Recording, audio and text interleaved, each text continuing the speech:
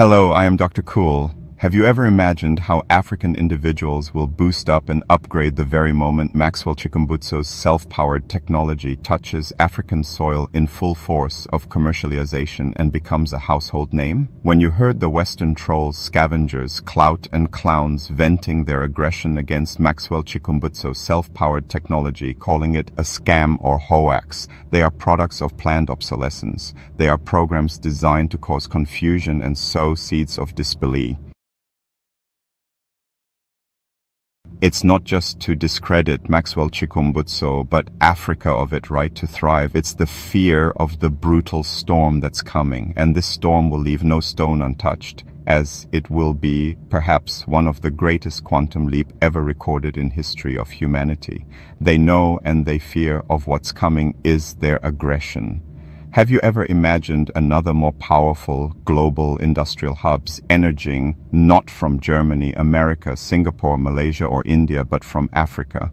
Well, this is the utopia Maxwell Chikumbutso self-powered technology will be jamming the global industrial with in the most beautiful way ever imagined. Think of it like a back door, a shortcuts to reboot Africans whose resources is currently the global fuel for technologies the West have technologies. However, the very fuel and raw material that propels their technology is not coming from any place on Earth but Africa by 80%. Africa is seating on the multi-zillion dollars minerals and human resources untapped who will develop this, if you may ask? Well, definitely not Russia, China, America, or Germany, but Africa themselves.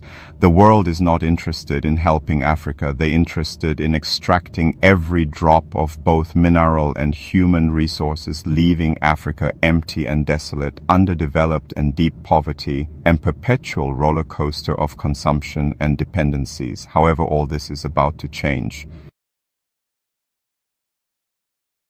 If you are feeling this vibes already, smash that subscribe button and type in the comments section, let's make it happen with Maxwell Chikumbutso.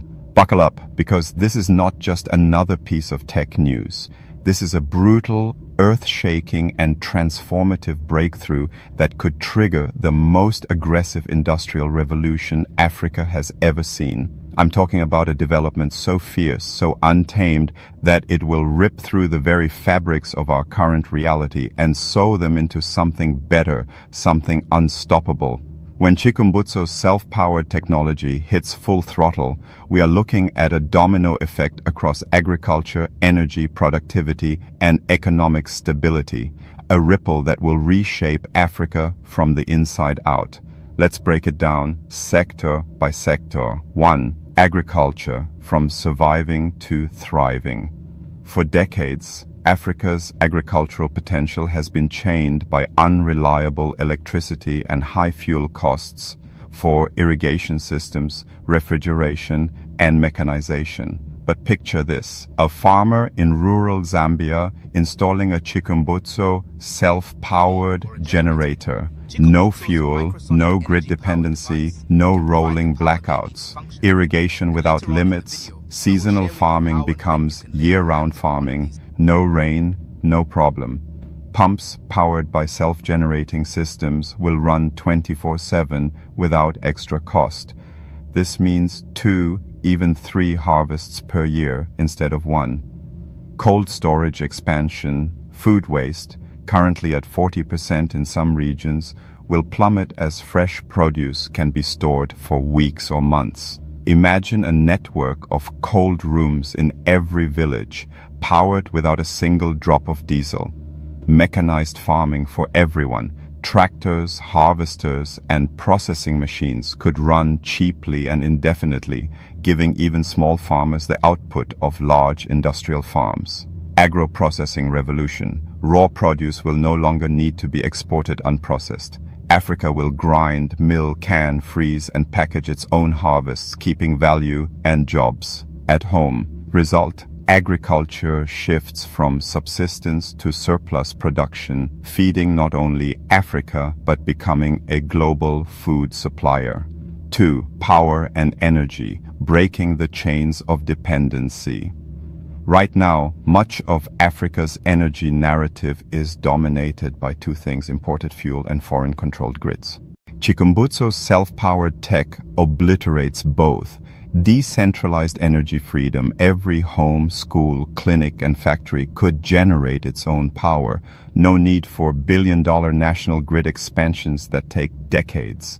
Elimination of power bills. Imagine entire cities with no monthly electricity costs. Families redirect that money into education, business, and investment End of fuel scarcity drama. The constant dance of oil price hikes, currency exchange shocks, and fuel shortages becomes irrelevant. Off-grid expansion. The 600 plus million Africans currently without reliable power will leapfrog into energy abundance overnight. Result. Africa becomes the first continent to run largely on cost-free, self-sustaining power. 3. Productivity and industrialization. Pedal to the metal. Industrial revolutions in Europe and Asia were powered by coal, oil, and massive infrastructure investments. Africa's could be powered by Chikumbutso's tech at a fraction of the cost. Micro-industries in every town, small workshops could operate heavy machinery without electricity bills. A village with one sewing machine factory becomes a regional clothing hub 24-7 manufacturing, no more downtime due to power cuts. Production cycles run continuously, multiplying output and profitability. Lower cost of goods, with no energy bills, manufacturing costs drop, making African products competitive on global markets. Technology adoption explodes. 3D printing, AI labs, robotics, and automated assembly lines, once reserved for high-income countries, will be within Africa's reach. Result, instead of importing goods, Africa becomes a net exporter of manufactured products, feeding its own economy first. 4. Security and stability, power as a shield.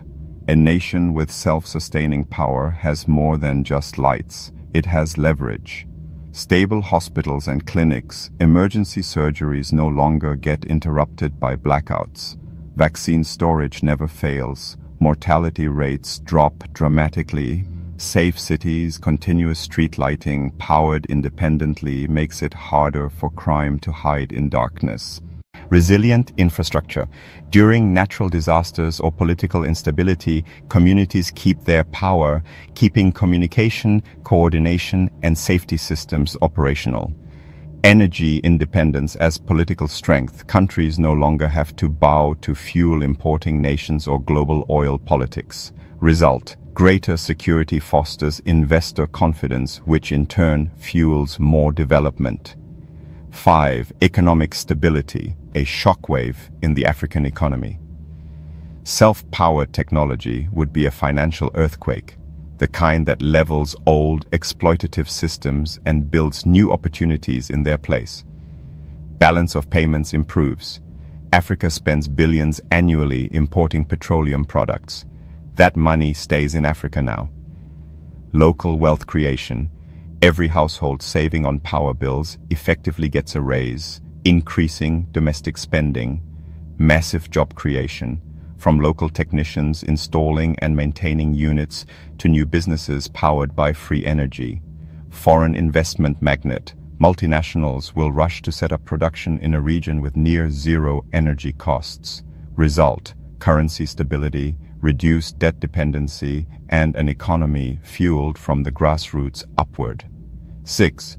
Fast pedaling industrial revolution, the final push.